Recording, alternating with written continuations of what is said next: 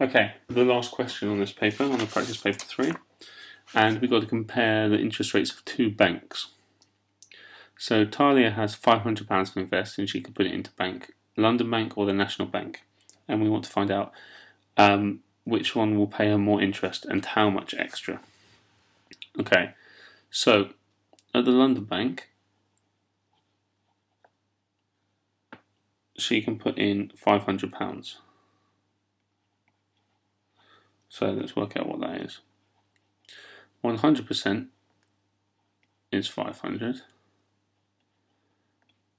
10% is 50 and 1% is 5. So that means all we need to do to work out 4% or what the interest rate will be, it's 4% here, is just four lots of this. So she would get £20. That's how much interest you would get at the London Bank. Now, if we invest at the National Bank, it's slightly more tricky to work out, but not much more. At the National Bank, you have to split your money up. So you invest £300 uh, that gets 1%, and then you get £200 which gets 6%. So let's work out these. So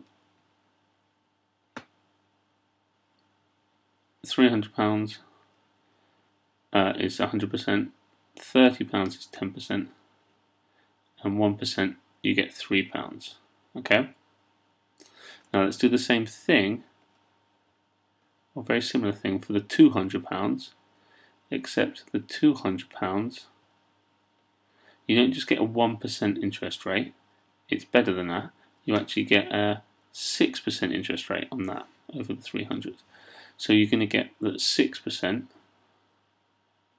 is actually six times bigger than this, which is 12 pounds. Okay.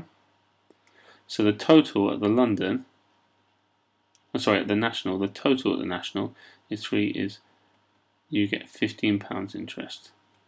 So you've got to compare 15 pounds to 20 pounds. And so I would obviously invest my money, I would invest it in this case at the London Bank and how much extra interest? Well, you get five pounds extra. You get five pounds more interest. Okay?